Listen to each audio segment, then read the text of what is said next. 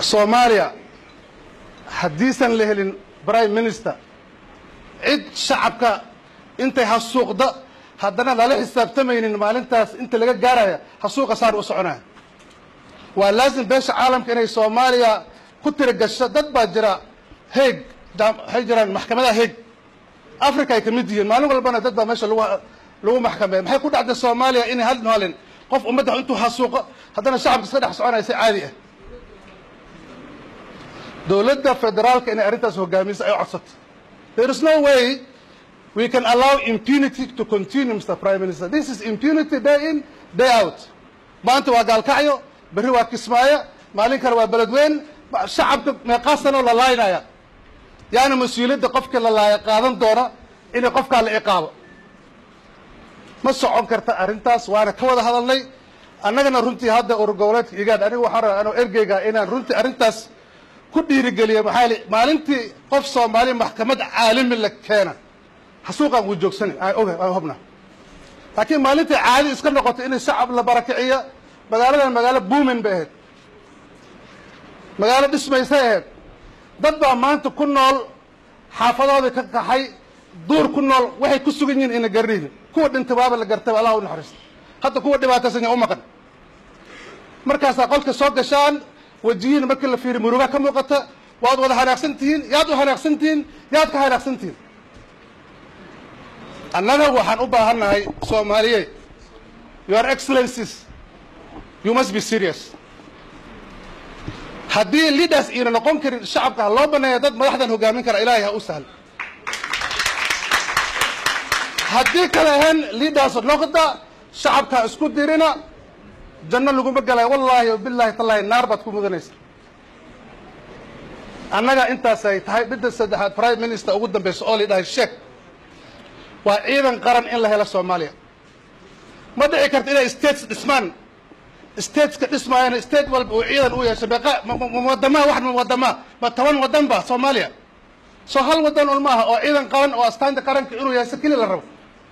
Siday ku dhici kartaa inay wixii aan ku aragnay videoska loo soo duubay arrinta ka dhacday gaalkacyo waxaad mooday inay syria ka dhacaysa tanks tanks iyo anti aircraft missiles see shacabka looga beeganaya soo waajibaadkii dowladda qaran maa taas ma waajibaadkii dowladda qaran aaway ciidan soomaali soomaaliya hadda waxaad ka hadlaysaan twenty sixteen maxaad ku gaaraysaan twenty sixteen shacaba ma haysiin. Shacaba hobiya la dhacaysaan ma twenty sixteen ku gaaraysaan waxay ila tahay inaa fikraddaas la bedelo walaalihiin dowlad goboleedka igaad iyo beesha caalamka. Dhiigooda ku qumaya soomaaliya. They are dying in this country. Hal maalin cid isweydisa ma leh. Dadka ajanabiga oo dhiigooda ku qumaya soomaaliya waay haddii aan haysan hubka aan haysan iyo ciidanka aan haysanna waxa ummadda u soo gurmata ma idinka samaysaan? Maxaad ugu baahnayd in shisheeye idinku imaado? Maxaa ugu baateen shisheeye inuu waddankan imaado haddiiba ciidankaa la heli kara prime minister. Why do you require foreign forces if you have sufficient forces in the country well equipped? Why?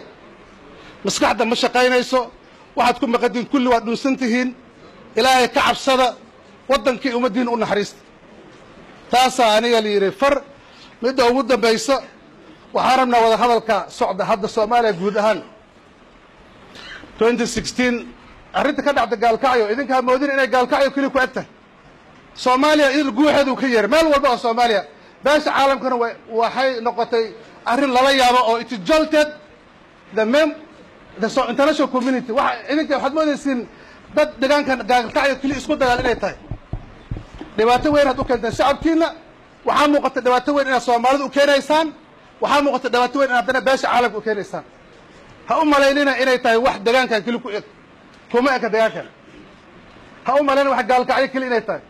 Walaalayaa reer gaa dadka ku nool gaalkacyo. Dadka ku nool gaalkacyo. Magaaladan gaalkacyo. Ha isku abtirinina walaalayaal. Waxay yeeshaan?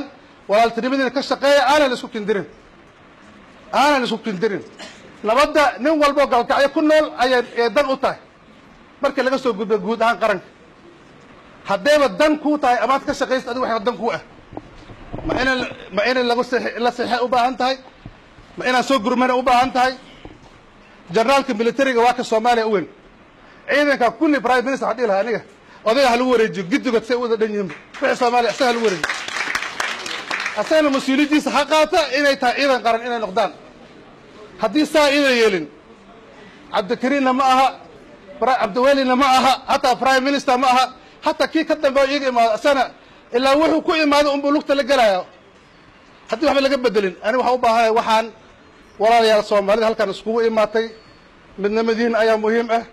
Arrinta ka dhacda gaalkacyo waa ceeb ceeb ceeb ceeb ceeb.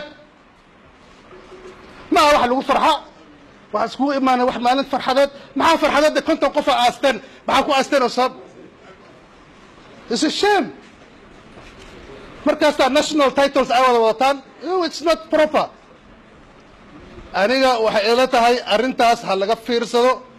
Waana implementationka prime minister implementationka arrintan la saxiixay. Waa maanta in la bilaabo maanta ciidamada kala qaada shacabka isdhex maraan gaalkacyo ay gaalkacyo noqoto. Asalaamu calaykum waraxmat wabarakatu